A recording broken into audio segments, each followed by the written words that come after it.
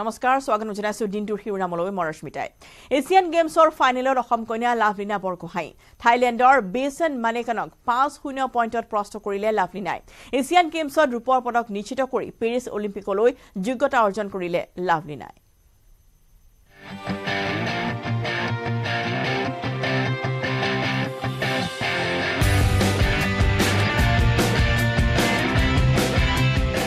সমগ্ৰ অসম তথা দেশবাসীৰ বাবে এটা ভাল খবৰ। এছিয়ান গেমছত জয়লাভ কৰিছে লাভলীনা বৰগোহাঁই। এছিয়ান গেমছত ইতিমধ্যে ছেমি ফাইনেলত প্ৰৱেশ কৰা লাভলীনাই ছেমি ফাইনেলত বিজয় সাব্যস্ত কৰি বৰ্তমান ফাইনেললৈ অৱতীৰ্ণ হৈছে। আৰু ইতিমধ্যে উদ্বোধনী অনুষ্ঠানত যেতিয়া লাভলীনাই ভাৰতৰ পতাকা বহন কৰিছিল। অৰ্থাৎ উদ্বোধনী অনুষ্ঠানত যেতিয়া ভাৰতীয় পতাকা তেওঁ ধ্বজাবাহক হিচাপে আছিল সেই সময়ছোৱাতে সমগ্ৰ অসমবাসীয়ে আচলতে গৌৰৱত বুকু উপন্তি উঠিছিল যে অসমৰ এগৰাকী খেলুৱৈ এনেদৰে এছিয়ান গেমছত ভাৰতৰ পতাকা লৈ সেই উদ্বোধনী অনুষ্ঠানত অংশগ্ৰহণ কৰিছিল। আৰু সেইগৰাকী অসম কন্যা লাভলীনাই এতিয়া এছিয়ান গেমছত নিজৰ পদক বা নিজৰ বিজয় সাব্যস্ত কৰিবলৈ সক্ষম হৈছে।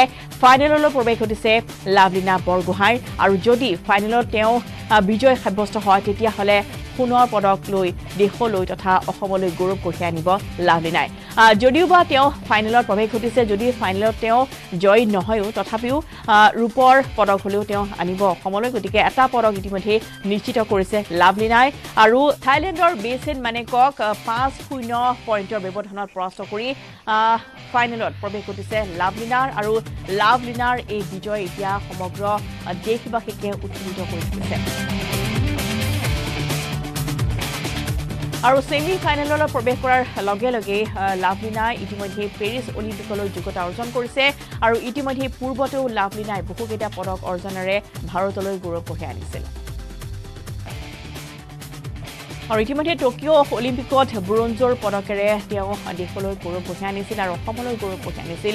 আৰু সমান্তৰালভাৱে দেখিবলৈ পোৱা গৈছে যে লাভলীনাৰ এই বিজয়ে এতিয়া তেওঁৰ অনুৰাগীসকলক তেওঁৰ পৰিয়ালক তেওঁৰ বন্ধুবৰ্গক আত্মীয় স্বজনক বাৰুকৈ উৎফুল্লিত কৰি তুলিছে। সকলোৱে এতিয়া আশা কৰিছে যে কাইলৈ যিহেতু স্বৰ্ণ জয়ৰ বাবে লাভলীনাই এই খেলত অৱতীৰ্ণ হ'ব গতিকে সকলোৱে লাভলীনাৰ এই সফলতা কামনা কৰিছে। সকলোৱে লাভলীনাৰ হৈ এতিয়া পূজা অৰ্চনা কৰিছে আৰু খেলুৱৈগৰাকীক শুভেচ্ছা জ্ঞাপন কৰিছে।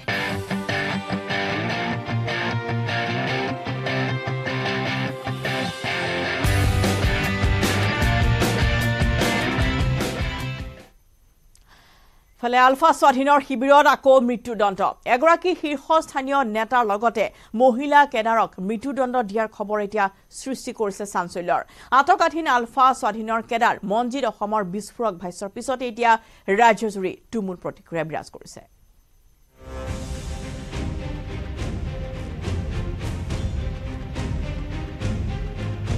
আলফা স্বাধীনৰ শীৰ্ষস্থানীয় নেতাক মৃত্যুদণ্ড।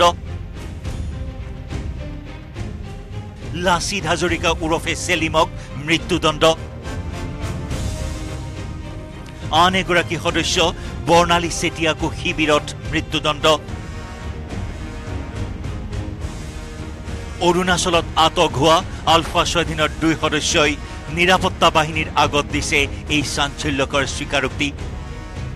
বিশ ছেপ্টেম্বৰত কিদৰে আলফা স্বাধীনৰ শিবিৰত মৃত্যুদণ্ড বিহা হৈছিল দুয়োগৰাকী সদস্যক আটকাধীন মঞ্জিত মহন্তৰ মুখেৰে শুনক সেই কথা।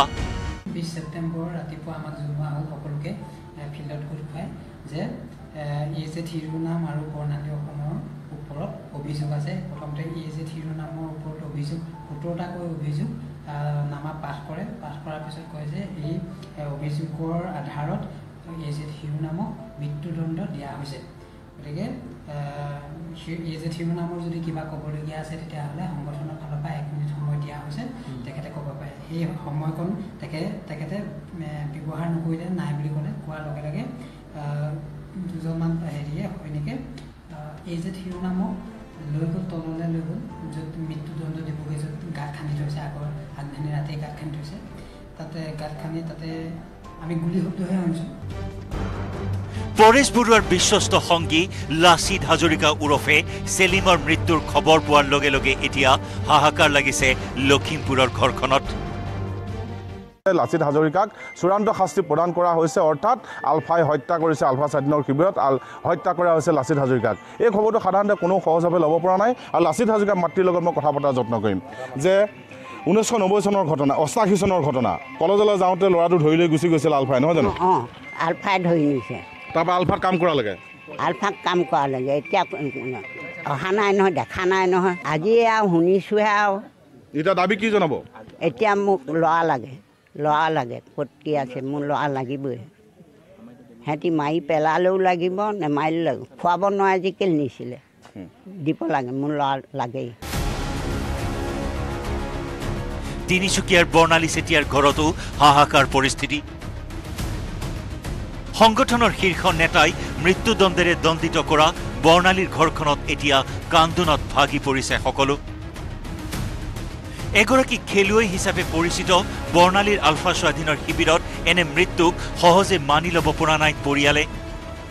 মৃত্যুদণ্ডৰ কাৰণ বিচাৰি পৰেশ বৰুৱালৈ প্ৰশ্ন বৰ্ণালীৰ পৰিয়ালৰ।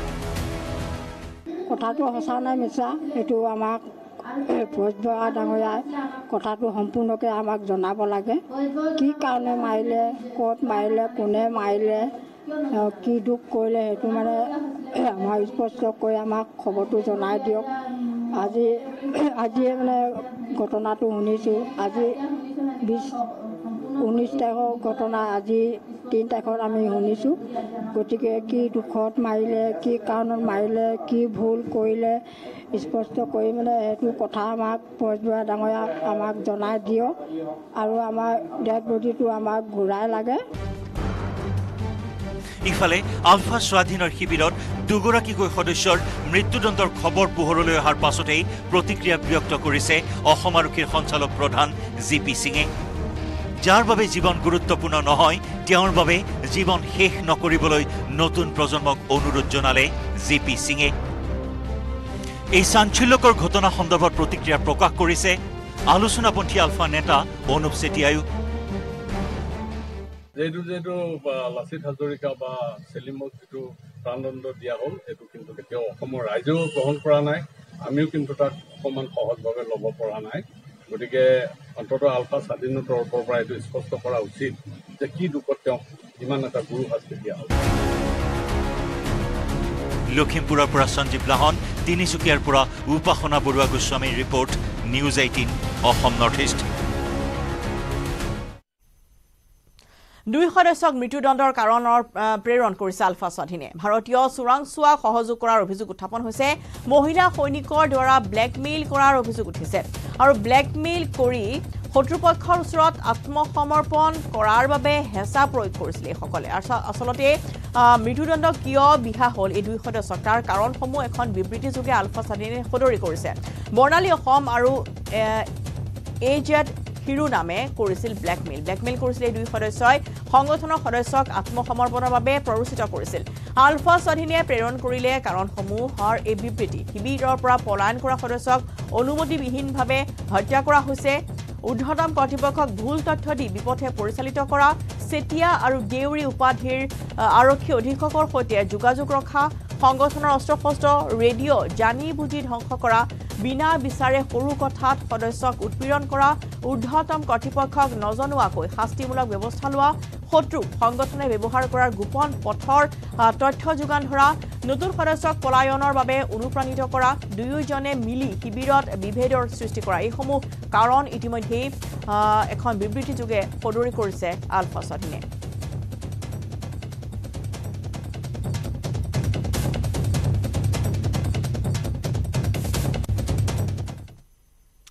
শিলচৰত গৌৰৱ গগৈৰ সভাত উত্তেজনা জিলা কংগ্ৰেছ কাৰ্যালয়ত এক উত্তপ্ত পৰিস্থিতিৰ সৃষ্টি হয়। বিধায়ক কমলাক্ষ দে আৰু অভিজিত পালৰ সমৰ্থকৰ মাজত হতাহতি দুই পক্ষৰ সমৰ্থকৰ মাৰপিটত উত্তপ্ত হৈ পৰে কংগ্ৰেছ কাৰ্যালয়। আধাতে সভা এৰি গুচি গ'ল সাংসদ গৌৰৱ গগৈ। তাত উপস্থিত আছিল যুৱ কংগ্ৰেছৰ ৰাষ্ট্ৰীয় সভাপতি শ্ৰীনিবাস বিবিও। গৌৰৱ গগৈৰ উপস্থিতিত অনুষ্ঠিত হৈছিল কংগ্ৰেছৰ যোগদান কাৰ্যসূচী আৰু এই সভা জিলা কংগ্ৰেছৰ সভাপতি অভিজিত পালক লৈ বিতৰ্কৰ সূত্ৰপাত হয়। অভিজিত পালে ভাষণ দিয়াক লৈ উত্তপ্ত হৈ পৰে পৰিস্থিতি। শিলচৰত এয়া উত্তেজনা গৌৰৱ গগৈ সভাত এই উত্তেজনাপূৰ্ণ পৰিস্থিতিৰ সৃষ্টি হয় আৰু অভিজিত পালে যেতিয়া ভাষণ দিবলৈ লৈছিল সেই সময়তে দুটাকৈ পক্ষৰ মাজত তুমুল বাক বিতণ্ডা হয় আৰু তাৰপিছতে এনেদৰে হতাহতি মাৰপিট পৰ্যন্ত হয়গৈ। কংগ্ৰেছৰ এখন সভা আছিল শিলচৰত। বৰাকত আছিল এখন সভা আৰু এই সভাখনত উপস্থিত আছিল সাংসদ গৌৰৱ গগৈ। কমলাক্ষ ডিপ্ৰিকাছৰ অভিজিত পালৰ সমৰ্থকৰ মাজত হতাহতি আৰু সভা এই উত্তপ্তৰ হৈ থকাৰ সময়ছোৱাতে সভা এৰি সেই স্থানৰ পৰা আঁতৰি যায় সাংসদ গৌৰৱ গগৈ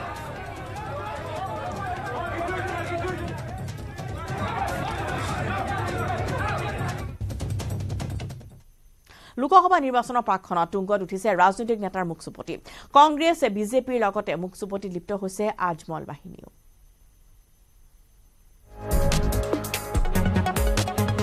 ৰাজনৈতিক পথাৰত তিনিকোণীয়া বাঘযুঁজ। ঠিকেই শুনিছে আপোনালোকে। দুহেজাৰ চৌব্বিছৰ নিৰ্বাচনলৈ সময় আছে কিন্তু তাৰ পূৰ্বে আৰম্ভ হৈ গৈছে বাঘযুদ্ধ। এয়া হৈছে তিনিকোণীয়া ৰাজনৈতিক বাঘযুদ্ধ। কংগ্ৰেছ নেতা বিজেপি নেতা আৰু আজমল বাহিনী।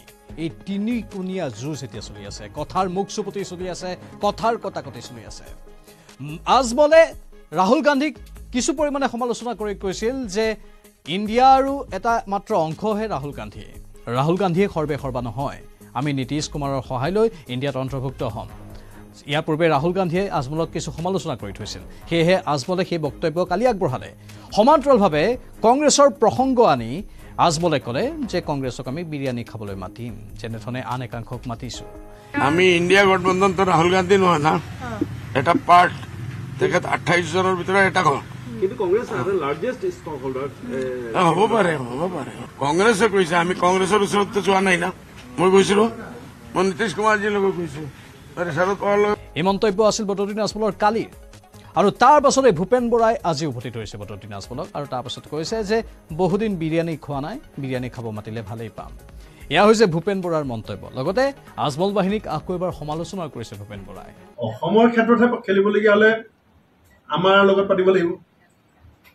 যদি কোনোবাই বিহাৰত খেলে কাইলৈ যদি এ আৰ ডি এফৰ পৰা কোনোবাই বিহাৰত খেলে আপোনালোকে কিয় বেয়া পায়? পাতিবলৈ দিয়ক নীতিশ কুমাৰ ডাঙৰীয়াৰ লগত। কোনোবাই যদি মহাৰাষ্ট্ৰত গৈ খেলে খেলিবলৈ দিয়ক পাতিবলৈ দিয়ক আমি কিয় বেয়া? আপোনালোকক দাবত দিছে বিৰিয়ানী খাবৰ কাৰণে chilli chicken. Chilli chicken. Biryani বহুত নাই মাতিলে আজমলে গোৱালপাৰাত ক'লে যে ভূপেন বৰাই এনেই আবুল তাবুল কথা কৈ লাভ নাই। কাৰণ তেওঁলোক এতিয়া বিগ জিৰ' হ'বলৈ গৈ আছে। একমাত্ৰ নিজৰ ভুলৰ বাবেই কংগ্ৰেছ দলটো বিগ জিৰ' হ'ব। যদি আজমলৰ সহায় ল'লেহেঁতেন যদি এ আই ডি এফৰ সৈতে মিত্ৰতাত থাকিলেহেঁতেন তেতিয়াহ'লে তেওঁলোকৰ সন্মান ৰক্ষা পৰিলহেঁতেন আগন্তুক নিৰ্বাচনত। কিন্তু সেয়া নহ'বগৈ কাৰণ একমাত্ৰ তেওঁলোকে ভুল কৰিছে এ আই ডি এফৰ সৈতে থকা নাই সেয়েহে বিগ জিৰ' হ'বলৈ গৈ আছে। আৰু মুখ্যমন্ত্ৰীয়ে এই সমগ্ৰ বিষয়টোত কেৱল কংগ্ৰেছক আওপকীয়াকৈ বিপথে পৰিচালিত কৰিবলৈহে চেষ্টা কৰিছে। এয়া মুখ্যমন্ত্ৰীৰ পৰিকল্পনা বুলি বদৰুদ্দিন আজমলে দাবী কৰিছে। এইবাৰ কংগ্ৰেছে আমাৰ লগত না মিলাৰ কাৰণে হাণ্ড্ৰেড পাৰ্চেণ্ট জিৰ' এটা আণ্ডা লৈ যাব। ডাঙৰ এটা জিৰ' লৈ যাব। সেইটো যদি ভূপেন বৰা প্ৰাইম কি নাম চিফ হৈ কংগ্ৰেছৰ প্ৰেচিডেণ্ট হৈ তেখেত যদি বুজিব নোৱাৰে বাকী পুৰা ৰাইজে বুজিতো লাভ নাই না। ভূপেন বৰাই কি কৈছে?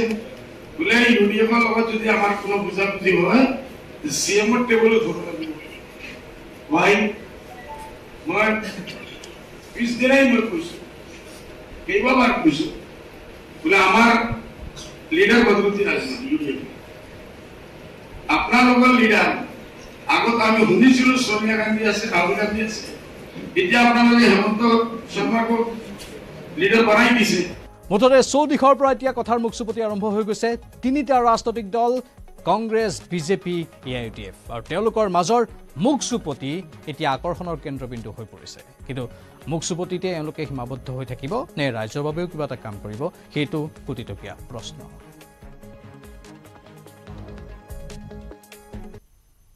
এ জে পিলৈ যাব নেকি নিলম্বিত যুৱ কংগ্ৰেছৰ নেত্ৰী অংকিতা দত্ত? শিৱসাগৰত অসম জাতীয় পৰিষদৰ এক অসম যাত্ৰাৰ পূৰ্বে সভাপতি লুৰিণজ্যোতি গগৈৰে বৈঠক অংকিতা দত্তৰ। যোগদান সন্দৰ্ভত অংকিতাই দিলে কৌশলপূৰ্ণ মন্তব্য।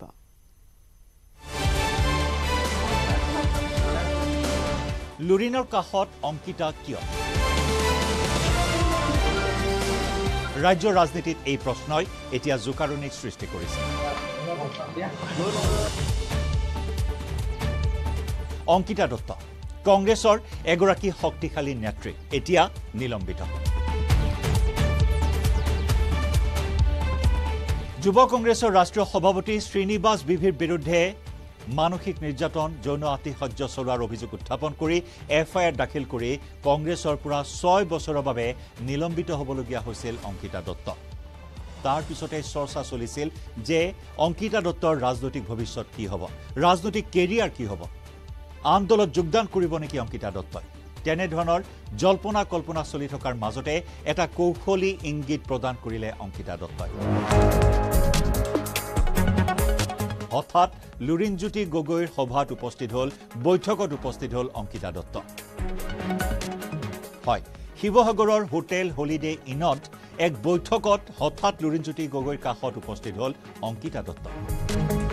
আৰু অংকিতা দত্তই এই বৈঠকত অংশগ্ৰহণ কৰিয়েই এটা ইংগিত দিলে যে অতি শীঘ্ৰেই হয়তো অসম জাতীয় পৰিষদত যোগদান কৰিব পাৰে অংকিতা দত্তই। ইমানেই নহয় কেইবাটাও তাৎপৰ্যপূৰ্ণ মন্তব্য কৰিলে অংকিতাই। যদি শিৱসাগৰৰ ৰাইজে বিচাৰে তেতিয়াহ'লে অসম জাতীয় পৰিষদত যোগদান কৰাত আপত্তি নাই অংকিতা দত্তৰ ৰাইজে যি বিচাৰে সেইটোৱে আমি কৰিম। আৰু মই ইয়াত ঘূৰি আছোঁ। আৰু সময়ত যেতিয়া ৰাইজে মোক মোৰ মোৰ পৰিয়ালে তেখেতলোক হয়। তেখেতলোকে মোৰ ফালৰ পৰা যি বিচাৰে মই সেইটোৱে কৰিম। আজি যদি মোৰ মোৰ যিখিনি মোৰ লগত কাম কৰি আছে সহযোগীসকল তেখেতলোকে যদি কয় কি কংগ্ৰেছতে থকা সেয়াই কৰিম। যদি কয় কি বিজেপিলৈ যোৱা সেইটোৱে কৰিম। যদি তেওঁলোকে কয় এ জি পিলৈ যোৱা তে এ জি পিলৈ যাম মোৰ ৰাইজে মোক যি ক'ব মই সেয়াই কৰিম। লগতে অংকিতাই ক'লে ৰাজনীতিত অসম্ভৱ বুলিবলৈ একোৱেই নাই। ৰাজনীতিত অসম্ভৱ একো নহয় কিন্তু মই কাম কৰি গৈছোঁ আৰু কাম কৰি যাম। আৰু ইয়াৰোপৰি লুৰিণজ্যোতি গগৈ নেতৃত্বত ৰাজ্যজুৰি চলি আছে এক অসম যাত্ৰা। এক অসম যাত্ৰা আজি শিৱসাগৰৰ ৰংঘৰৰ পৰা শিৱদৌললৈ বাহিৰ কৰা হয় আৰু এই যাত্ৰাৰ বিষয়ে উল্লেখ কৰিলে অংকিতা দত্তই ক'লে যে লুৰিণজ্যোতি গগৈৰ এক অসম যাত্ৰাক তেওঁ পূৰ্ণ সমৰ্থন আগবঢ়াইছে আৰু এই ক্ষেত্ৰত অসমবাসী ৰাইজক আহ্বান জনাইছে যে অসমক ভাল পোৱা সকলো লোকেই এই যাত্ৰাত অংশগ্ৰহণ কৰা উচিত। তেখেতক এবাৰ মাত লগাবলৈ আহিলোঁ আৰু তেখেত নৱপ্ৰজন্মৰ মানে লিডাৰ হিচাপে ওলাই আহিছে। সেইটো নহয় it is a completely non political আজি ডিছকাশ্যন হৈছে আৰু বেচিকলি তেওঁলোকে যাত্ৰা এটা কৰি আহিছে ৰাইজৰ পৰা কি পাইছে কি নাই পাইছে সেইখিনি জানিবলৈ আহিলোঁ যিহেতু আমিও ৰাজনীতিত আছোঁ। হয় অংকিতা দত্তৰ এনে কিছু তাৎপৰ্যপূৰ্ণ মন্তব্য তথা স্থিতিয়ে এতিয়া বিশেষ চৰ্চা লাভ কৰিছে যে অংকিতা দত্তই অসম জাতীয় পৰিষদত যোগদান কৰিব নেকি অতি শীঘ্ৰেই। উল্লেখযোগ্য যে আমগুৰি সমষ্টি শেহতীয়াকৈ কৰ্তন কৰা হৈছে সমষ্টিৰ পুনৰ নিৰ্ধাৰণ অনুসৰি। সমষ্টিৰ পুনৰ নিৰ্ধাৰণৰ চূড়ান্ত তালিকাৰ পৰা বাদ পৰিল আমগুৰি সমষ্টি। এই আমগুৰি সমষ্টিৰ পৰা অংকিতা দত্তই কংগ্ৰেছৰ টিকটত দুহেজাৰ ষোল্ল আৰু দুহেজাৰ একৈছ চনত প্ৰতিদ্বন্দ্বিতা কৰিছিল যদিও পৰাস্ত হৈছিল প্ৰদীপ হাজৰিকাৰ হাতত।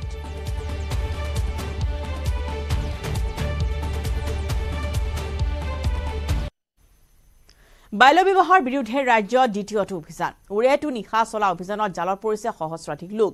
আৰক্ষীৰ পৰা সাৰি নগ'ল স্বামী অভিভাৱক আৰু কাজী পুৰোহিত।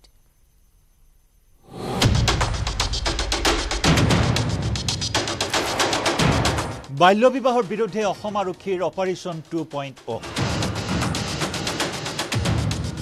হয় পুনৰ বাল্য বিবাহ বিৰোধী অভিযান অসম আৰক্ষীৰ। পুৱতি নিশালৈকে চলা এই অভিযানত হাজাৰৰো অধিক লোকক আটক কৰা হৈছে এই অভিযানত। অসমৰ কেইবাখনো জিলাত চলিছে বৃহৎ অভিযান বাল্য বিবাহৰ বিৰুদ্ধে এই পৰ্যন্ত এহেজাৰ ঊনচল্লিছজনক আটক কৰা হৈছে। অবৈধ স্বামী অভিভাৱক কাজী আৰু পুৰোহিতসহ এহেজাৰ ঊনচল্লিছজনক এই মুহূৰ্তলৈকে আটক কৰা হৈছে। আৰু এই অভিযানত ধুবুৰীৰ পৰা সৰ্বাধিক এশ একানব্বৈজনক আটক কৰা হৈছে। বৰপেটাৰ পৰা আটক কৰা হৈছে ছয়সত্তৰজনক। ধুবুৰীৰ তামাহাটত তামাহাট থানা চৌহদত দেখা গৈছে যথেষ্ট সংখ্যক মানুহৰ ভিৰ।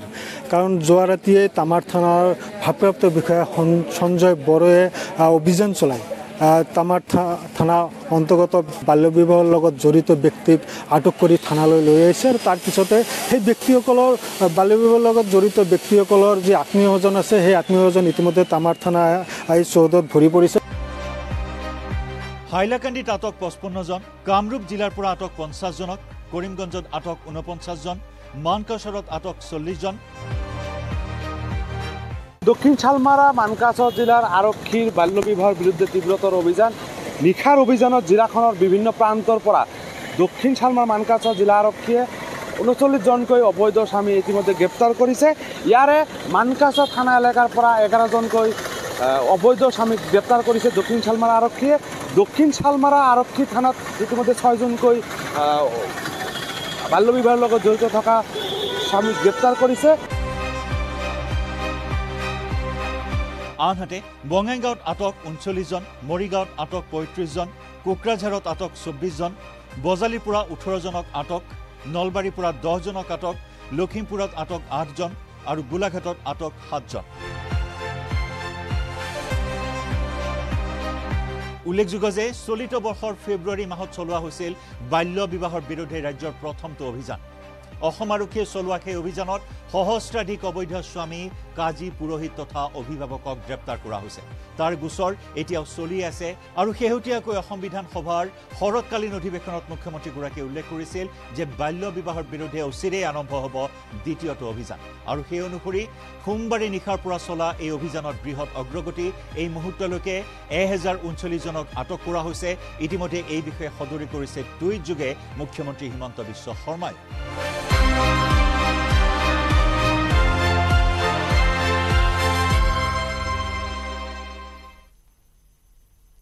বাল্য বিবাহ বিৰোধী অভিযানৰ মাজতে গোলকগঞ্জত এক উত্তেজনা। গোলকগঞ্জ থানাত অচেতন হৈ পৰিল এগৰাকী গৰ্ভৱতী মহিলা। গৰ্ভৱতী মহিলাগৰাকী অচেতন হোৱাক লৈ থানা চৌহদত এক উত্তেজনাই বিৰাজ কৰিছে। বাল্য বিবাহ অভিযোগত গ্ৰেপ্তাৰ হৈছিল মহিলাগৰাকীৰ পৰিয়ালৰ সদস্য। তাৰপিছতে মহিলাগৰাকী এনেদৰে অচেতন হৈ পৰিছে। গোলকগঞ্জৰে ঘটনা বাল্য বিবাহ বিৰোধী অভিযানৰ মাজতে গোলকগঞ্জত এই উত্তেজনাৰ সৃষ্টি হৈছে। গোলকগঞ্জ থানাত অচেতন হৈ পৰি ৰ'ল এগৰাকী গৰ্ভৱতী মহিলা আৰু এই গৰ্ভৱতী মহিলাগৰাকী অচেতন হোৱাক লৈ থানা চৌহদত এক উত্তেজনাই বিৰাজ কৰিছে। বাল্য বিবাহৰ অভিযোগত গ্ৰেপ্তাৰ কৰা হৈছিল মহিলাগৰাকীৰ পৰিয়ালৰ সদস্যক আৰু মহিলাগৰাকীৰ পৰিয়ালৰ সদস্যক অৰ্থাৎ স্বামী আৰু তেওঁৰ আন আন সদস্যসকলক অৰ্থাৎ বহু আৰু ঘৰৰ পৰিয়ালৰ লোকক যেতিয়া গ্ৰেপ্তাৰ কৰা হ'ল তাৰপিছতেই মহিলাগৰাকী যিটো গৰ্ভৱতী আছিল তাৰপিছতে তেওঁ এনেদৰে থানা চৌহদত উত্তেজনাৰ সৃষ্টি কৰিছে। তেওঁ আন সদস্যসকলে পৰিয়ালৰ সদস্যসকলে আৰু তাৰপিছতে হঠাতে অচেতন হৈ পৰে মহিলাগৰাকী আৰু মহিলাগৰাকী অচেতন হৈ যোৱাৰ লগে লগে থানা চৌহদত লাগি যায় ধোৱা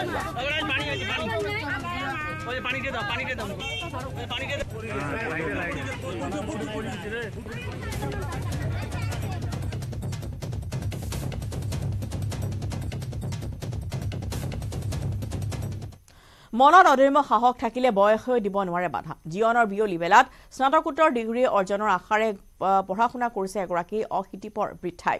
কিন্তু কোন এইগৰাকী বিশ্ববিদ্যালয়ৰ নব্বৈ বছৰীয়া ছাত্ৰী?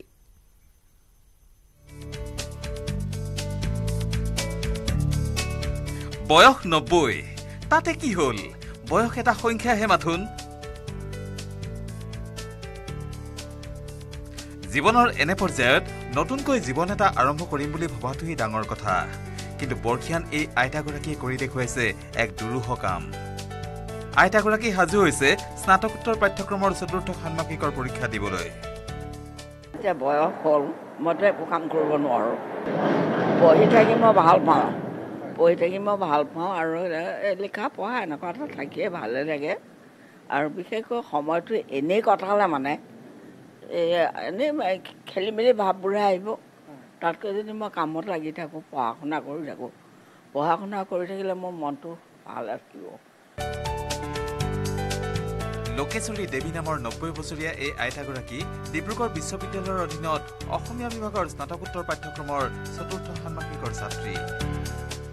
প্ৰথম ফাৰ্ষ্ট ছেমিষ্টাৰ দিওঁতে লগ পাইছিলোঁ কেইজনমান ছোৱালী কিন্তু দৌৰি দৌৰি আহি মোক লগ কৰিছিলেহি কথা পাতিছিলে তাৰপিছত এতিয়া মোক অলপ আঁতৰৰ অফিচ ৰুম এটাত বহুৱাই দিলে তাত মই পৰীক্ষা দিওঁ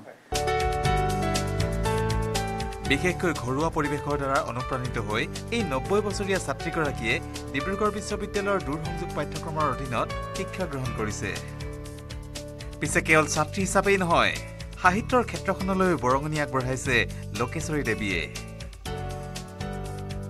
ইতিপূৰ্বে দহখনতকৈও অধিক গ্ৰন্থ অসমীয়ালৈ অনুবাদ কৰিছে তেওঁ।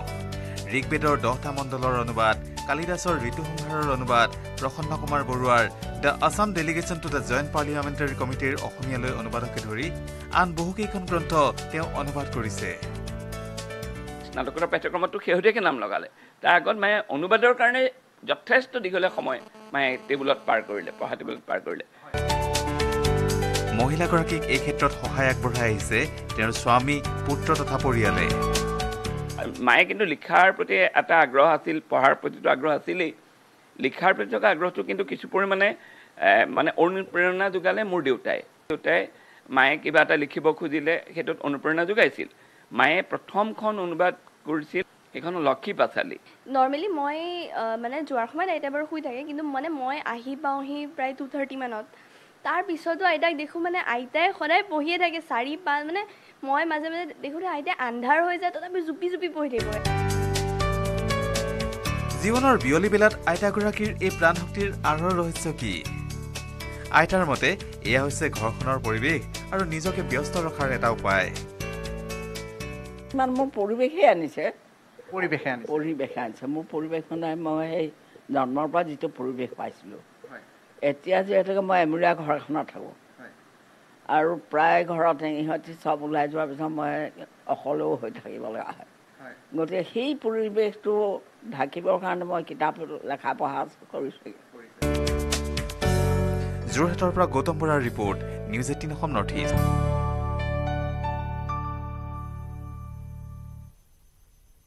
মধ্যাহ্ন ভোজনৰ নামত এখন বিদ্যালয়ত ভয়ংকৰ ঘটনা। পোকে খোৱা চাউলকে খুওৱা হৈছে প্ৰাথমিক বিদ্যালয়খনৰ কণ কণ ছাত্ৰ ছাত্ৰীসকলক ছাত্ৰ ছাত্ৰীসকলৰ অভিভাৱকৰ তৎপৰতাত পোহৰলৈ আহিছে এই ভয়ংকৰ ঘটনাটি।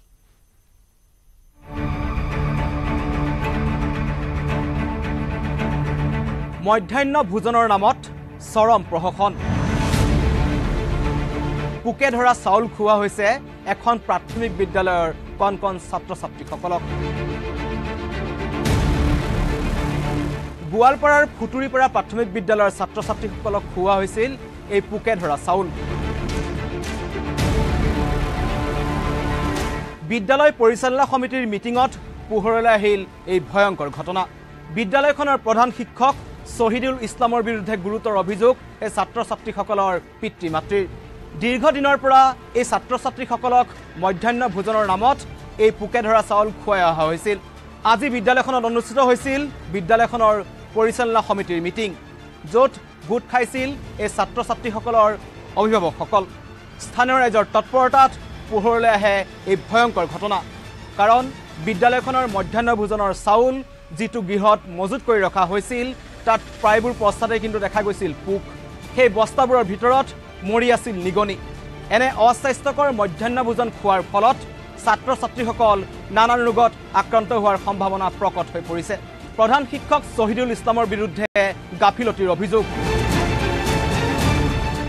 যি ফুটুৰিপাৰা লেৱাবাৰী প্ৰাথমিক বিদ্যালয়ত আৰু এই লেৱাবাৰী প্ৰাথমিক বিদ্যালয়ত বস্তাই বস্তাই যি ছাত্ৰ ছাত্ৰীক খোৱা চাউল ইতিমধ্যে যি পঁচিছে আৰু এই পচা চাউলসমূহ ইতিমধ্যে ইয়াৰ স্থানীয় লোকসকলে উদ্ধাৰ কৰিছে। নিউজ এইটিন অসম নৰ্থ ইষ্টৰ দৰ্শক দেখুৱাই আছোঁ যে লেৱাবাৰী ফুটুৰিপাৰা প্ৰাথমিক বিদ্যালয়ৰ দৃশ্য দেখুৱাই আছোঁ। এনেধৰণৰ যি বস্তাই বস্তাই যি ছাত্ৰ ছাত্ৰীসকলক যি মধ্যাহ্ন ভোজন খোৱা যি চাউল এই চাউল ইতিমধ্যে ধৰণৰ পচি গৈছে আৰু পোক ধৰিছে। আৰু এই চাউলে কিন্তু যি প্ৰধান শিক্ষকে ছাত্ৰ ছাত্ৰীক এই চাউল ইতিমধ্যে খুৱাই পেলাই আহিছে আৰু এই চাউলখিনি কিন্তু দেখা গৈছে।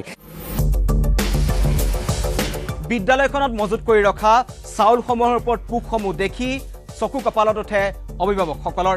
শীঘ্ৰেই এই ঘটনাৰ তদন্তৰ দাবী কৰিছে ছাত্ৰ ছাত্ৰীসকলৰ অভিভাৱকসকলে। প্ৰধান শিক্ষক শ্বহীদুল ইছলামৰ শাস্তিৰ দাবী কৰিছে কণ কণ ছাত্ৰ ছাত্ৰীসকলৰ অভিভাৱকসকলে। চালে চাউল এনেকুৱা ওলাই চালে সকলো ৰাইজ আহিল দেখিলে ছাৰক সুধিলে প্ৰধান শিক্ষক শ্বহীদুল ইছলাম তেওঁক সুধিলে ছাৰে প্ৰথমেই ক'ল যে আমাৰ চাউল এনেকুৱা নাই প্ৰথমে আমাৰ চি আৰ চি ছাৰ যিখিনি আছে তাক মাতি লৈ আহিলে যে চি আৰ চি ছাৰে এনেকুৱা ক'ল যে চাউল পচি আছে চাউল আমাক নালাগে। মোটামুটি দুশোমান বস্তা হ'ব আছে। এই চাউলে খুৱাই আছে? আপুনি দেখক একটা নতুন বস্তাৰ চাউল খুলছে নেকি? যিখিনি খুলছে সব পুৰানা চাউল খুলছে। আৰু সপ্তাহে একদিন ডিমা খিলায় আৰ যিখিনি সপ্তাহ ছয় দিনমান ডালি যে খিলায় নদীৰ পানী তাতকৈ ভাল আছে।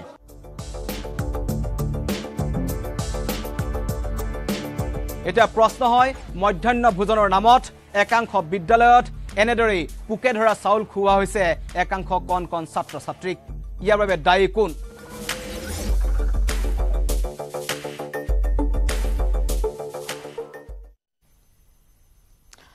ফালে বিদ্যুৎ মাচুল বৃদ্ধিৰ বিৰুদ্ধে পুনৰ উতাল হৈ পৰিছে ৰাজ্য। অসম জাতীয়তাবাদী যুৱ ছাত্ৰ পৰিষদৰ উদ্যোগত ৰাজ্যজুৰি এই প্ৰতিবাদী কাৰ্যসূচী ৰূপায়ণ কৰা হৈছে। শক্তিমন্ত্ৰী পুতলিকা দাহ কৰি মাচুল হ্ৰাস কৰাৰ দাবী জনাইছে সংগঠনটোৱে। বিদ্যুতে খুৱাইছে জ্বলা-কলা। মাচুল বৃদ্ধিৰ বিৰুদ্ধে প্ৰতিবাদ।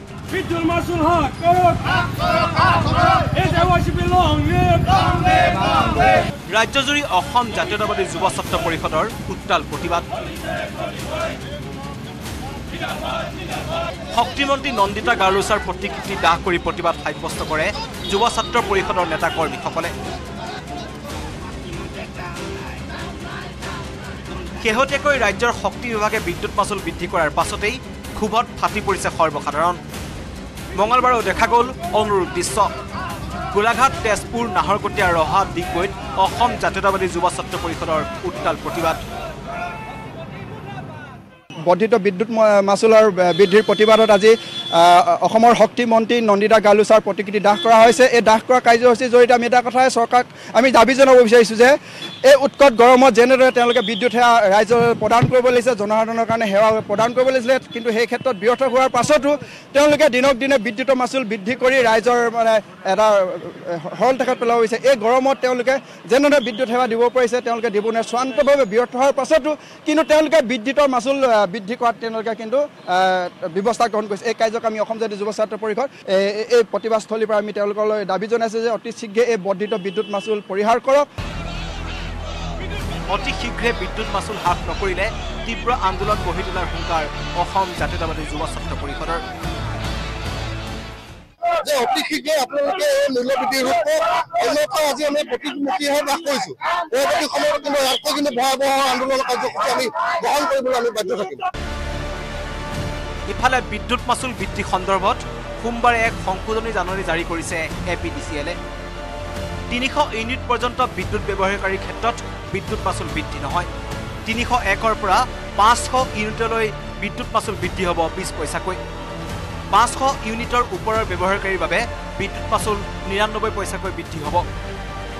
ব্যৱসায়িক আৰু উদ্যোগিক ক্ষেত্ৰত ঊনষাঠি পইচাকৈ বৃদ্ধি হ'ব বিদ্যুৎ মাচুল bureau' report news eighteen Assam north east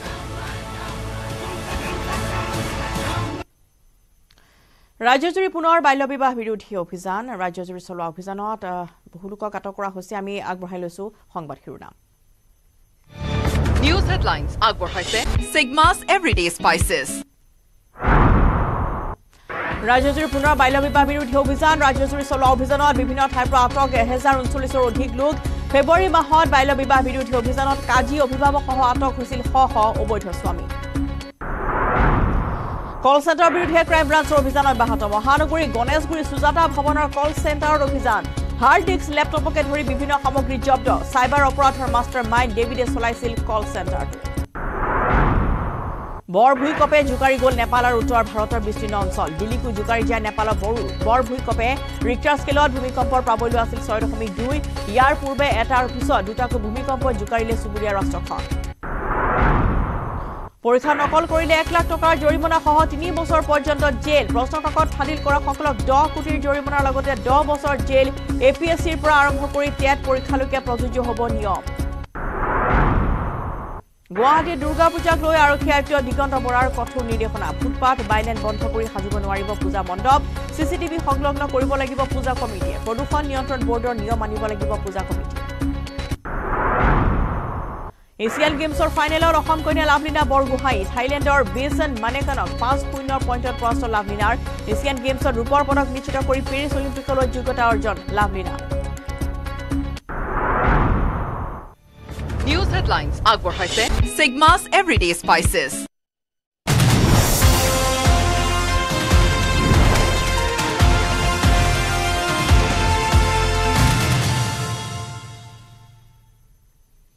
সমাগত শাৰদীয় দুৰ্গোৎসৱ। দুৰ্গোৎসৱক লৈ এতিয়া ৰাজ্যজুৰি চলিছে ব্যাপক প্ৰস্তুতি। ঐতিহ্যমণ্ডিত বিল্বেশ্বৰ দেৱালয়ত দুৰ্গতি নাশিনীক আদৰাৰ বাবে চলিছে পূৰ্ণ প্ৰস্তুতি। দিন ৰাতি একাকাৰ কৰি ব্যস্ত হৈ পৰিছে মৃন্ময় শিল্পীসকল।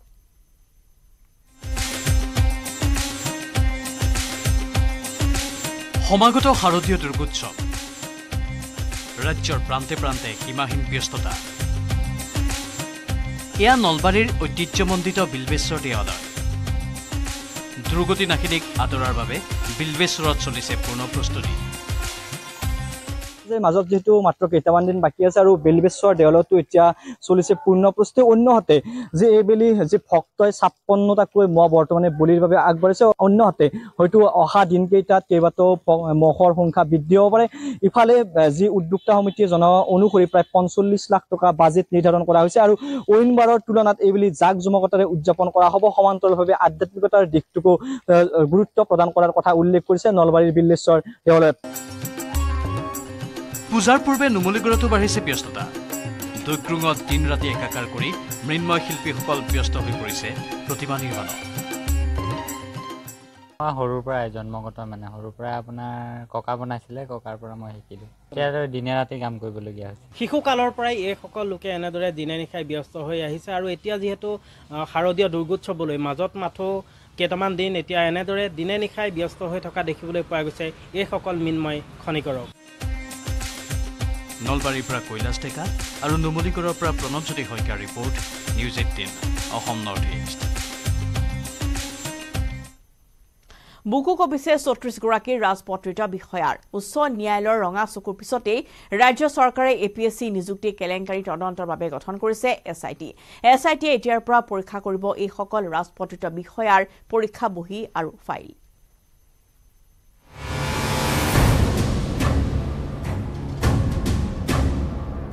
বুকু কপিছে চৌত্ৰিশগৰাকী ৰাজপত্ৰিত বিষয়া। অতি শীঘ্ৰেই চাকৰি হেৰুৱাব নেকি চৌত্ৰিশগৰাকী ৰাজপত্ৰিত বিষয়া হয় S I T special investigation team গঠন কৰা হৈছে। উচ্চ ন্যায়ালয়ৰ নিৰ্দেশ মৰ্মে ৰাজ্য চৰকাৰে এ পি এছ চি কেলেংকাৰীৰ তদন্তৰ বাবে এছ আই টি গঠন কৰিবলৈ বাধ্য হোৱাৰ লগে লগে এতিয়া বুকু কপি উঠিছে চৌত্ৰিশগৰাকী ৰাজপত্ৰিত বিষয়া।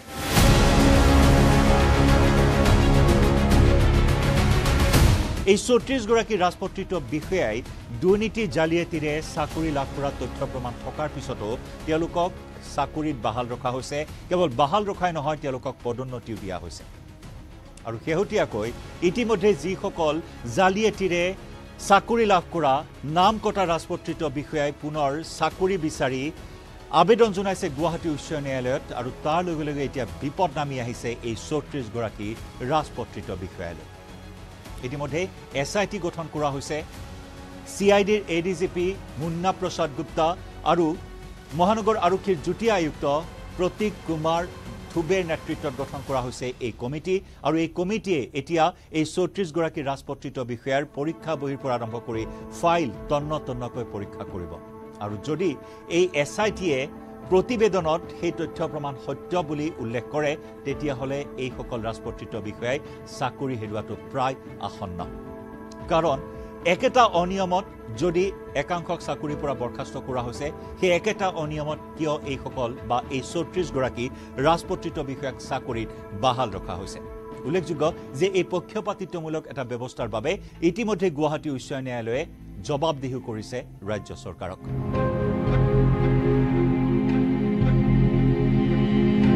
আৰু এই চৌত্ৰিশগৰাকী ৰাজপত্ৰিত বিষয়াৰ উত্তৰ বহীতো যথেষ্টখিনি বিসংগতি দেখিবলৈ পোৱা হৈছে। নম্বৰ বঢ়াই দিয়াৰ তথ্য লাভ কৰা হৈছে। পৰীক্ষা বহী টেবুলেশ্যন ছিটত আনকি তেওঁলোকৰ নম্বৰ বঢ়াই দিয়াৰ তথ্যও ইতিমধ্যে লাভ কৰা হৈছে। যিসমূহ তথ্য অভিযোগ নামাত ইতিমধ্যে উল্লেখ কৰা হৈছে। গতিকে এতিয়া প্ৰশ্ন হৈছে এই এছ আই টিয়ে এই চৌত্ৰিশগৰাকী ৰাজপত্ৰিত বিষয়াক নিৰ্দোষী ঘোষণা কৰে নে দোষী সাব্যস্ত কৰে নে সেই তথ্য প্ৰমাণসমূহ সত্য বুলি প্ৰতিবেদন প্ৰকাশ কৰে তাৰ প্ৰতি এতিয়া সকলোৰে দৃষ্টি নিবদ্ধ হৈ আছে আৰু যাৰ বাবে এতিয়া বুকু কপি উঠিছে এই চৌত্ৰিশগৰাকী ৰাজপত্ৰিত বিষয়া।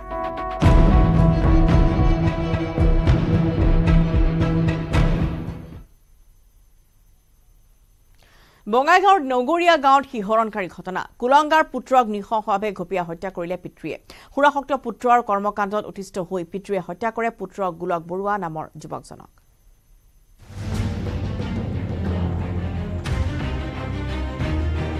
এটা শিহৰণকাৰী হত্যাকাণ্ড। পিতৃৰ হাতত প্ৰাণ গ'ল সুৰাসক্ত পুত্ৰৰ। ঘটনাৰ স্থান বঙাইগাঁৱৰ নগৰীয়া গাঁও। দীৰ্ঘদিন ধৰি গোলাপ বৰুৱা নামৰ যুৱকজনে সুৰাৰ ৰাগীত মাতাল হৈ আতিশায্য চলাইছিল পিতৃ মাতৃৰ ওপৰত। প্ৰতি নিশা সুৰাসক্ত যুৱকজনে পৰিয়ালৰ ওপৰত চলাই গৈছিল অত্যাচাৰ। এই আগে পাছে বহুত মোৰ বহুত দিনৰ পৰা গণ্ডগোল কৰি থাকে। ছোৱালী আনিয়া তাৰমানে মাটি ভাগ পত্ৰ লাগে। সেইখিনি কাৰণতো ৰাইজক মই মাতিছিলোঁ। তে সেইখিনি তাই মানে অমান্য কৰিছে। মই মাটিখিনি দিয়াৰ কাৰণে বাধ্যতা হৈছোঁ। সি মই নহ'লে কাটে। আজি নিচিনাকৈ সিও কাটে। কিন্তু সোমবাৰে নিশা ধৈৰ্যৰ সীমা হেৰাল গোলাপ বৰুৱাৰ পিতৃ কৰুণাকান্ত বৰুৱাৰ। উদণ্ড সুৰাসক্ত পুত্ৰৰ কৰ্মকাণ্ডত অতিষ্ঠ হৈ গোলাপ বৰুৱাক দাৰে ঘপিয়াই অতি নৃশংসভাৱে হত্যা কৰিলে পিতৃ কৰুণাকান্ত বৰুৱাই। তাৰমানে আজিও পাৰিলে তাক টকা পইচা লাগে আৰু দিব নাপালে মোক কলা কাটিব। মোক কাটিবই আজি। মোক চিয়াৰত বহিব দিছে। সি কাটিবই মোক। মোক নেকাটাৰ আগত তেওঁকে মই আজি ডেড বডি কৰি দিওঁ। এই এনেকুৱাকৈ মই পজিশ্যনটো মই লৈছোঁ। পুত্ৰক হত্যা কৰি আৰক্ষীক খবৰ দিয়ে কৰুণাকান্ত বৰুৱাই। আৰক্ষীৰ এটা দল উপস্থিত হৈ ঘটনাৰ তদন্ত কৰি কৰুণাকান্ত বৰুৱাক আটক কৰি লৈ যায়। উক্ত ঘটনাই চাঞ্চল্যৰ সৃষ্টি কৰিছে সমগ্ৰ বঙাইগাঁও জিলাত। বঙাইগাঁৱৰ পৰা উপানন্দ শৰ্মাৰ report news eighteen Assam north east.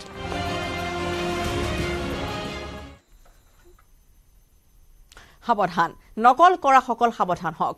নিযুক্তি পৰীক্ষা এ পি এছ চি আৰু টেট পৰীক্ষাত নকল কৰাসকলৰ বিৰুদ্ধে কঠোৰ হৈ পৰিছে ৰাজ্য চৰকাৰ। নকল কৰা অথবা প্ৰশ্নকাকত ফাদিল কৰা ঘটনাত জড়িতসকলৰ হ'ব পাৰে তিনি বছৰৰ জেল এক লাখ টকা পৰ্যন্ত জৰিমনা। দিনটোৰ শিৰোনামৰ পৰা বিদায় লোৱাৰ পূৰ্বে আগবঢ়াই থৈ গৈছো এই প্ৰতিবেদন। নমস্কাৰ।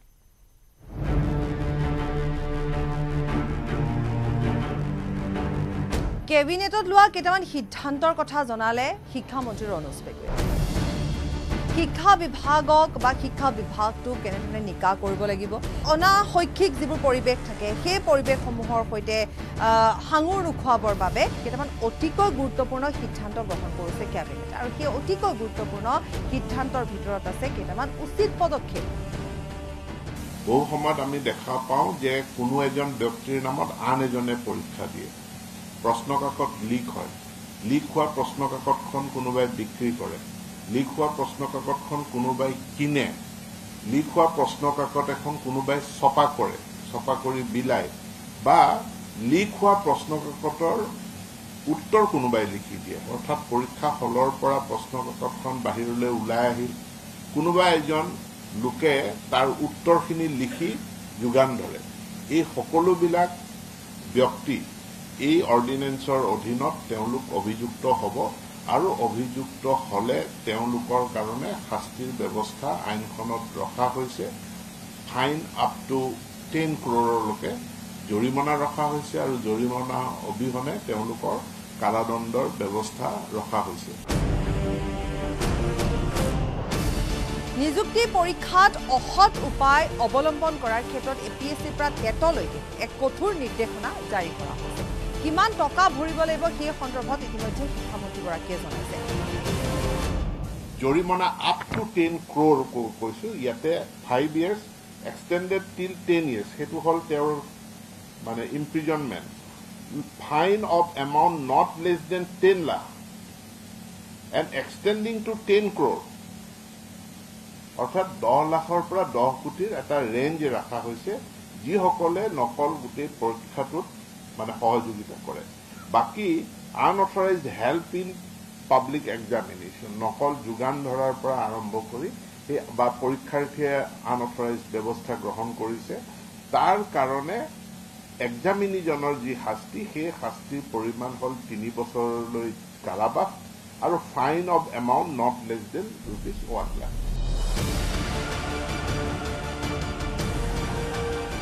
এগৰাকী ছাত্ৰক এগৰাকী ছাত্ৰক এটা শৈক্ষিক ভাল সুস্থ শৈক্ষিক পৰিৱেশৰ মাজত গঢ় দিয়াৰ বাবে এনেধৰণে কিছু ব্যৱস্থা গ্ৰহণ কৰা হ'ব বুলি শিক্ষামন্ত্ৰীগৰাকীয়ে কৈছে। উচ্চ শিক্ষিত নহ'ব পাৰে কোনোবা কিন্তু এগৰাকী দেশৰ ভাল নাগৰিক হ'ব লাগিব।